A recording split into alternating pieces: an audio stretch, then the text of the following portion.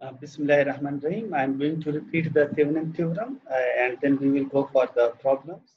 Uh, then it would be easy to understand. The Thevenin theorem, how we can define this. Any term, uh, Thevenin theorem, any two-terminal DC network can be replaced by an equivalent circuit consisting solely of a voltage source and a series resistor. So, for example, this is a network, we can replace it by such a network which would be having just a voltage source and a series circuit. The, that voltage source will call the ETH and that resistance is the RTH, which is the uh, Thevenin equivalent resistance and the Thevenin equivalent voltage. The resultant network would look like this. Now Thevenin is saying that if you replace this circuit by this circuit, it would it will not affect the output characteristic of the network.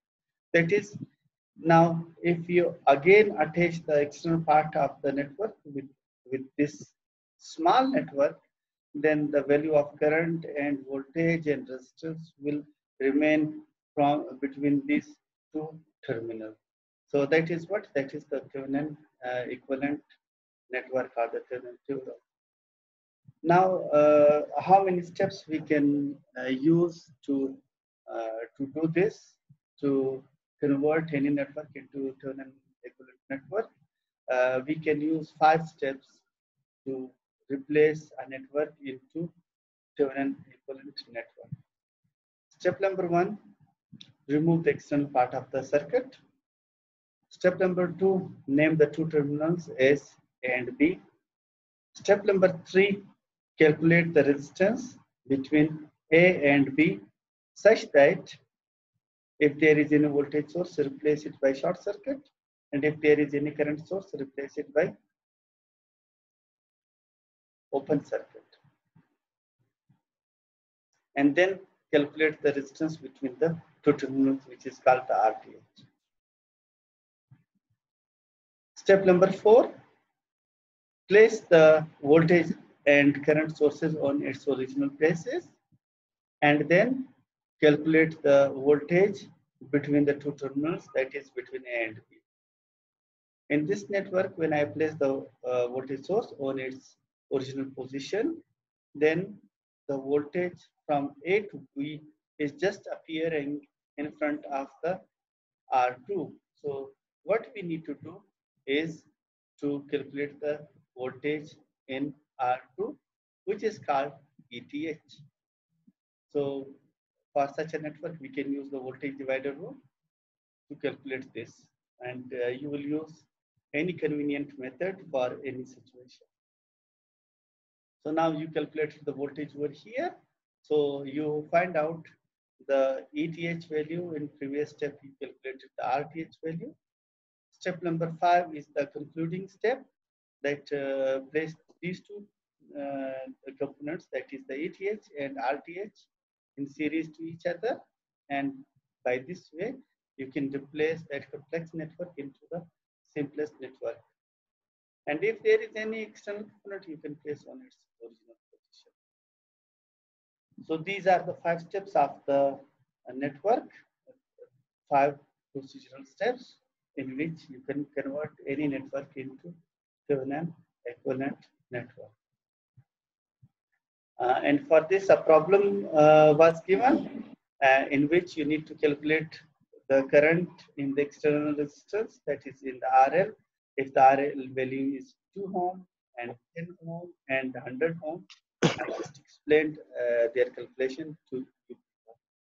Uh, you can uh, do the same thing by considering your previous procedures. They are uh, your uh, conventional steps. So if you uh, are having such a network, find out it, without converting it into Thevenin network, find the current value in RL if it is 2 ohm, if it is 10 ohm, and if it is 100 ohm. And then you see that those current values would be same to that of these values which we calculated with the help of the Thevenin equivalent circuit are changed. So the theorem is saying that these values should remain same. Is there any question? No, sir. Okay, good. So now we will go for solving problems. And the first example which is given uh, is what they are saying find the Thevenin equivalent circuit for the network in the shaded area of the figure. So this is a network and this is the shaded area of the uh, figure and what you need to find to find the Thevenin equivalent circuit of this. Definitely you will make Thevenin equivalent network and then you will write the value of ETH and RTH. So what was our first step? To remove the external part. Number two, to name the two terminals. So we removed the RL, which was the external part, and named the two terminals as AND.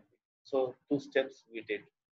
Step number three, calculate the resistance between A and B such that if there is any current source, replace it by open circuit, and if there is any voltage source, replace it by short circuit. So here we have the current source, we replace it by open circuit.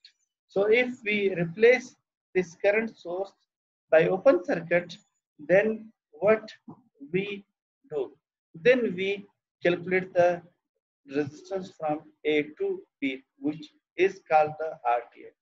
So now from A to B are two resistors which are in series because we replace this uh, source by open circuit.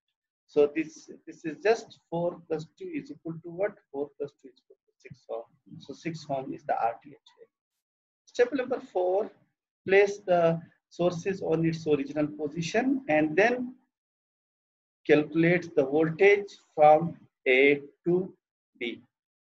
Um, in this problem, what is given over here, a current source is given. So if you place it on its original position, then the current will flow in this way. So uh, you would be wondering that why the current would not be flowing this way because from here to here we have open circuit because we removed the external part of the circuit. So if we remove the external part of the circuit, then zero current will flow in this way. So if the current is zero, then definitely voltage would be also be zero. So now the voltage from this point to this point would be what? The voltage over here plus the voltage over here. But here it is zero volt. So it would be just the value of voltage in the R1. Why not in the R2? Because the voltage in R2 would be zero. So the situation is very easy. Here you will find uh, voltage with the help of Ohm's law that is V is equal to IR. The I value is this one. All the current is flowing in this way and the R value is given. So V is equal to IR is equal to what is equal to ETH. And you solve it and you get 48 volt because the R value is 4 ohm and the I value is 12 ampere and none of the current is flowing this way because this is open circuit. So you get the value of ETH that is the voltage from A to B. The final step that is step number five is to make the Thevenin network that is place ETH over here and place the RTH in series of this.